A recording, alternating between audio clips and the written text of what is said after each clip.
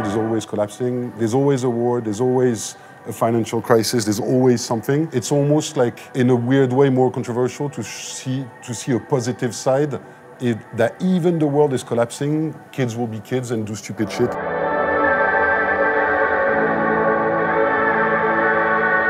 There is more aspects in this Gener8ion project of, of glimpses of the future, where some are darker, some are more poetic, some are more confusing.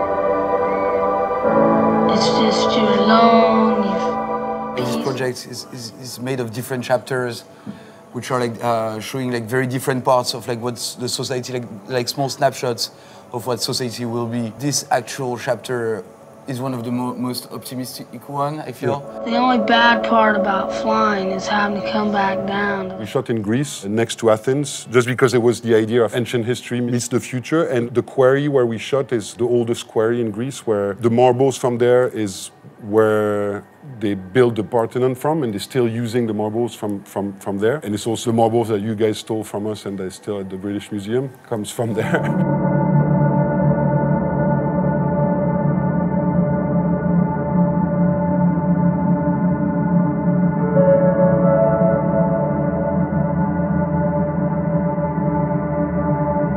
lot of stuff feels insanely violent to me when I see them. Not, not necessarily the news, not, not necessarily like, oh, there's a war, so that's violent. Sometimes, like, I will get angry by myself watching a Taylor Swift video. Some anger that I don't know where it comes from. I guess it's just a matter of see the world where I think the stuff for me when I was educated through books or through films is books that make me uneasy. Whether it's uh, Dostoevsky or whether it's a film by Sam Peckinpah, like those films or those books when I grew up made me feel very intensely things. I just think it's important to, to make people feel something, whether it's good, bad, or uh, unsettling.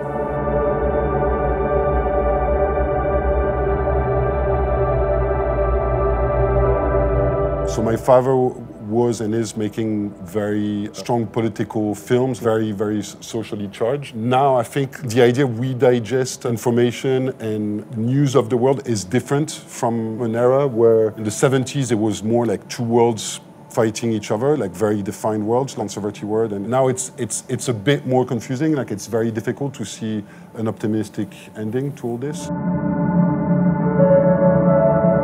I don't think films are about changing society. They're more about like a reflection of our times.